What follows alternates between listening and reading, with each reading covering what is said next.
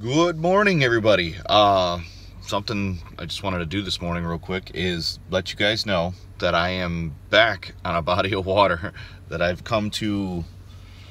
I don't know, like this is like the fifth time I've come here. Um, I don't know if you guys been following along closely. If you haven't been, hit the like, comment below, and subscribe. Make sure you got that little bell turned on so you get notified every time I upload a video.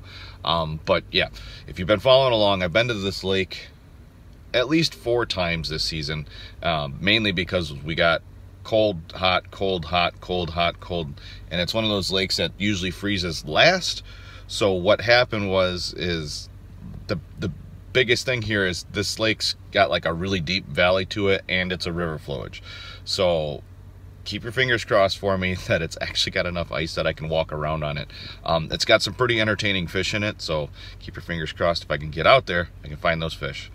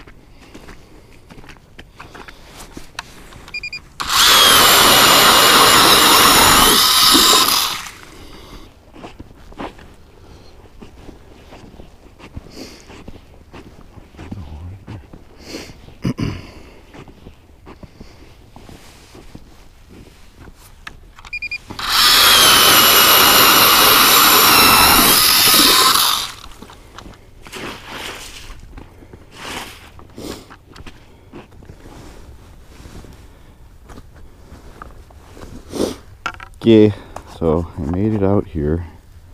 Looks like there's about four to five, maybe six inches of ice um, in most spots. It's not the best ice in the world, but should be fine for walking around today. Looks like a lot of these schools are out deep. Good thing is, is most people hate these fish, so we'll see if I catch anything that's not what I'm after. I'll probably have to move around a little bit. But keep your fingers crossed. We get into some monsters. And this is a quick day. I would like to get some sleep tonight.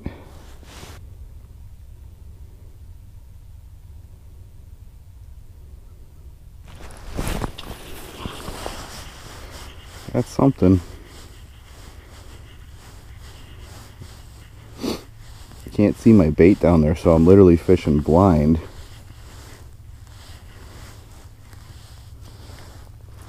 There's one.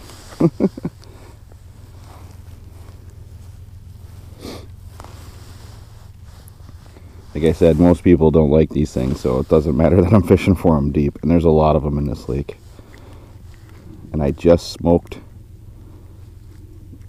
the rest of them uh, if you guys haven't seen that video, um, go check out the DWS Cooks Everything channel.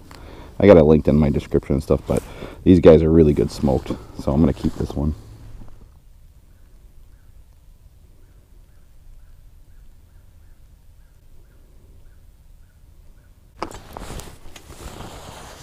Got another one.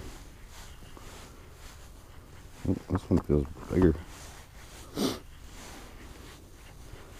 By the way, I'm using my commander here.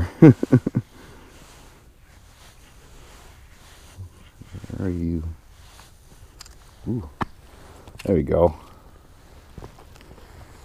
That's why I'm here. Because this place has big yellow bass. Much rather keep a bunch of these guys. Okay. Let's see how many of those guys we can get in such a, in a short period of time. I'd like to get a bunch of those bigger ones. Well, here comes something.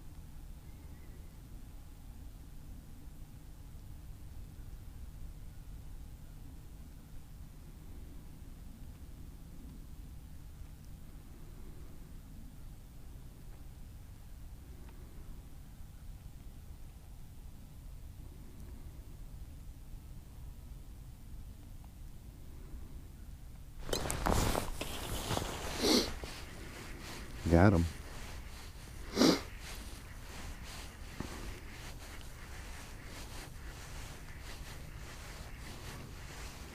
Just took a little competition.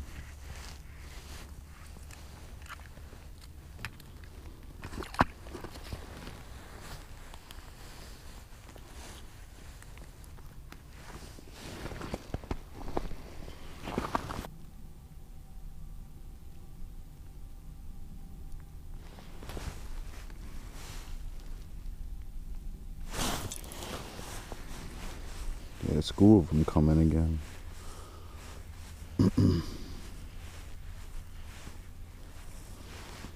Seems that you would need a couple of them together to get them to bite.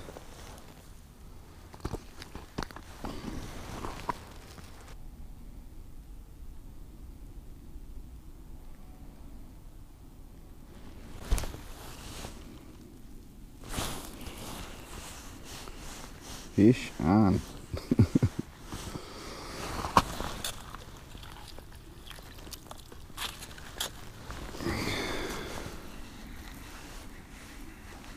this is one of those big schools.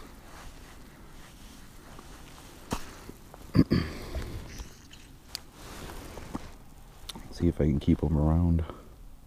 Right now is where a jigging Rap would come in handy, or a heavier spoon. Another school. Some of these guys look kind of big.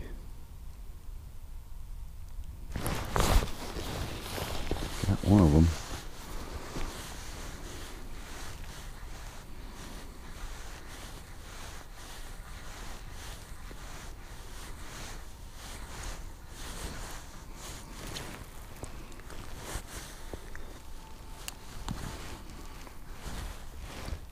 Gotta get down there again, try to get another one. Here comes another school. This is why I like fishing for these guys.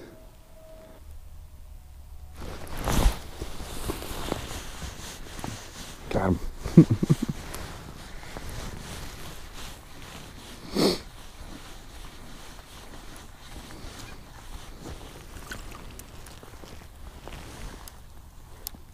Okay, so I'm starting to have a hard time getting these guys to commit. Um, and then they coming and going real quick. So what I think I'm going to do is put some iFish Pros right in this little area with some minnows down. I don't know if they're going to eat them, but it should keep them around at least.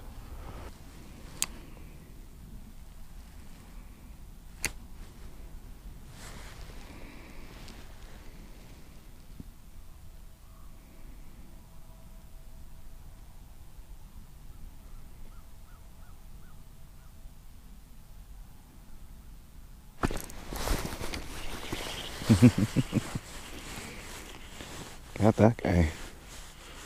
Sampled it.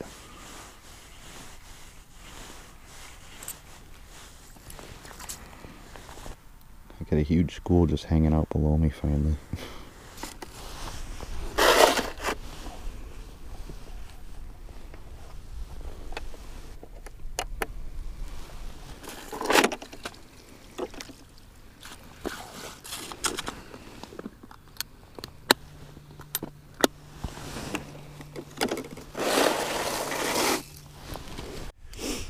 So I drilled a bunch of holes and I, I found this one school. It's dead center between two of my other holes. Every time I drilled on top of fish today, they seem to move, but uh, this is dead center on them. They could be a pile perch here, because perch do that. you can drill right over the top of them if they're not pressured. Oh, yeah. Here comes a bunch of fish. Let's see what they are.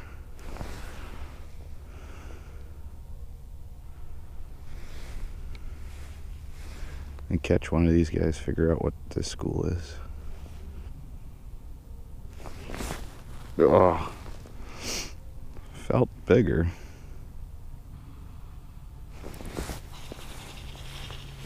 Feels good, whatever it is.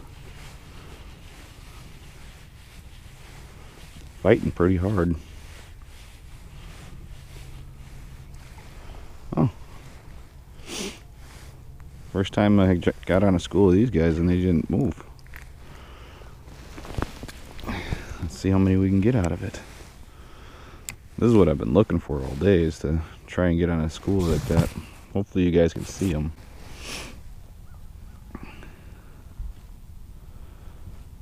Switched up my so I started with like uh I think I had a Swedish pimple and that was working for a little while for the bigger yellow bass.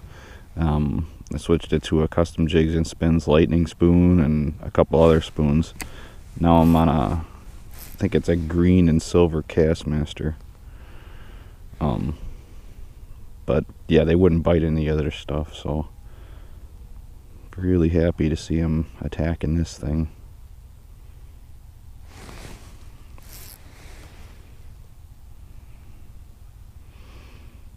And the trick here is going to be staying above the school and getting these fish to come out of it. Kind of take one out and uh, come back down without spooking them.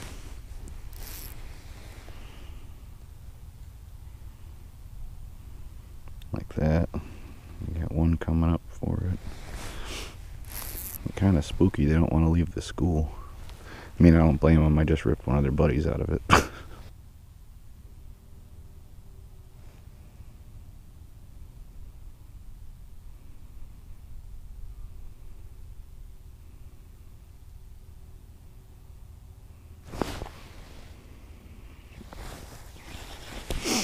Make sure I still have bait on there.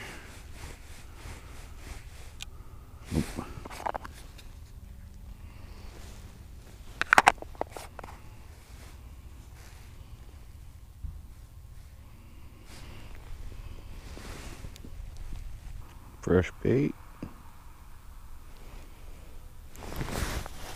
On. Well, this guy feels good. Head shakes out of a yellow bass. There we go. I need all of you to be that big. Oh, that looks like a big one. Oh, maybe it's just two. Okay, another one. Another good one, it feels like.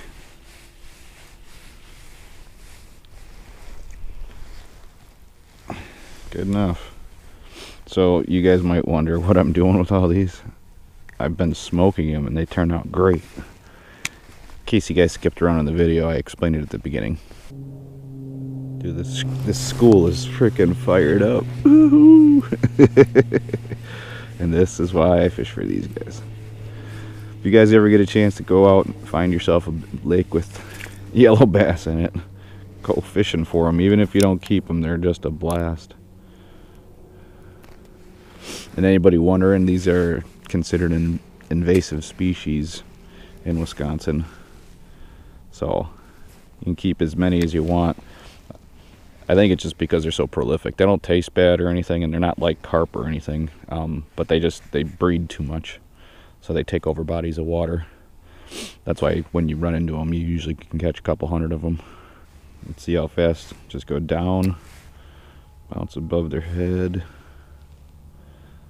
See if we can get somebody interested. Yep. I just missed him.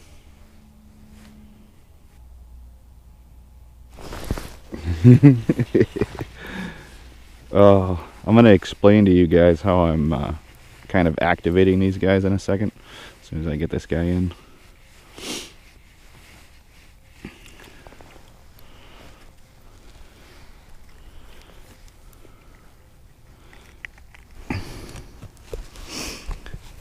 Okay, I'm going to try and do this with uh, no bait real quick.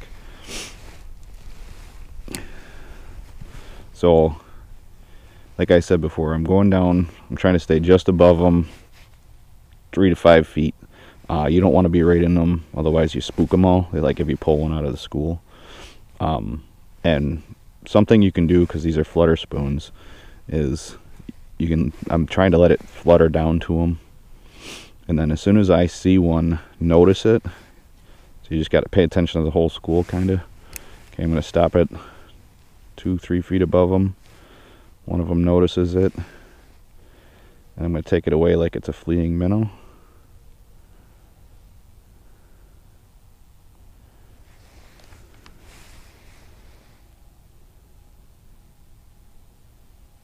kind of bounce it in place. There. So get it up away from them. Get like two, three of them interested. When they're competing for it, you just you're gonna kind of shake it and bounce it in place. You need a nice firm rod for it. This is actually my walleye rod, but it works really good for um, having a nice firm tip. And uh, yeah, just get them interested, and even without bait, when they're when they're fired up, they'll just go. Well, the school left. Might have had a reason to leave. 1, 2, 3, 4, 5, 6, 7, 8, 9, 10, 11, 12, 13. I think I have 8 more by my sled. Yeah, so like 20 something fish. I don't know if I want to clean anymore. Okay guys, so you seen it. Uh, yellow bass smash. Hit that like button if you like yellow bass fishing or if you've never even done this, it's just something I really want everybody to try. Um, do some research, figure out what lakes have yellow bass in them. And a big thing with yellow bass is in the state of Wisconsin, they're basically invasive everywhere they are. Um, so you can keep as many as you want. Uh, one thing, learn how to clean them good. They taste like bluegills. And uh, yeah, I don't know. It, it is a beautiful day today. I, uh, I had the whole lake basically to myself. And uh, that's why I kept coming back here. If you guys were wondering why I just kept coming and checking the ice here is because these yellow bass are all like five to six inches or I are all six to ten inches and uh, yeah they work great for smoking I love them I've got a whole fridge full of them right now so that's why I'm actually I'm gonna put these guys in my freezer because I actually just smoked I don't know I think I smoked like six pounds of them or something like that. Uh, if you, like I said, if you guys haven't seen that, uh, go check out the DWS Cooks Everything channel. Um, I'll have it linked below and linked everywhere else on the channel. But yeah, I've been cooking and stuff like that and putting them up on there. So go subscribe to that if you guys want that one to grow. Um, or if you just like good food, because that's why I made it. I want to help everybody make some good food. But hopefully you guys enjoyed this one. Like I said before, hit that like button if you like this kind of stuff. See you guys next time.